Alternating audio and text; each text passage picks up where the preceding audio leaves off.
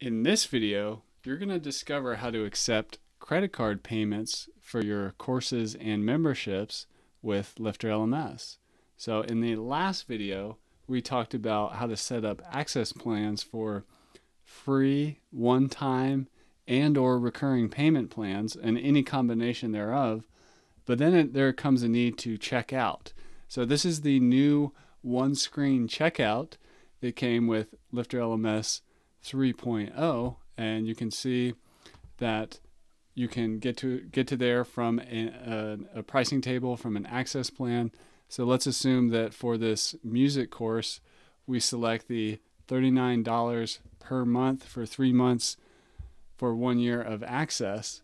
You can see how uh, we can create the user account right here and the, the information required. We've got our order summary here. We could enter a coupon code uh, and then we could pay by credit card. And this particular box is only displaying here because we're using Stripe in test mode. So um, you could also log in if you were already a user. You could also request less information over here if you wanted to. It is up to you. But you can see that we're about to purchase a music course for $39 per month for three months and then that comes with one year of access. So that is what it looks like on the front end.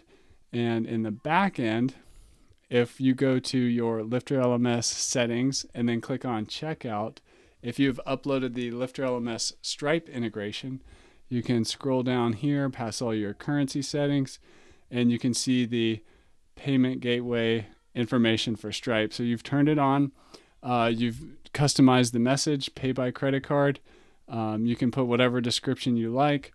This display order is if you're also using uh, something like our PayPal extension, then you want Stripe to display first. You would want a lower number there than on the PayPal settings window.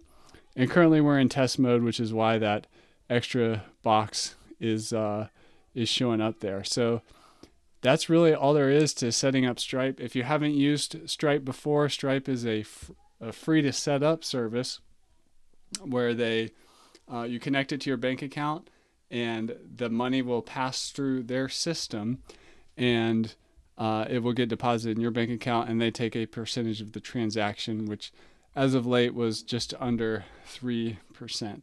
So that is how you are able to accept credit cards for your courses and memberships with Stripe and Lifter LMS.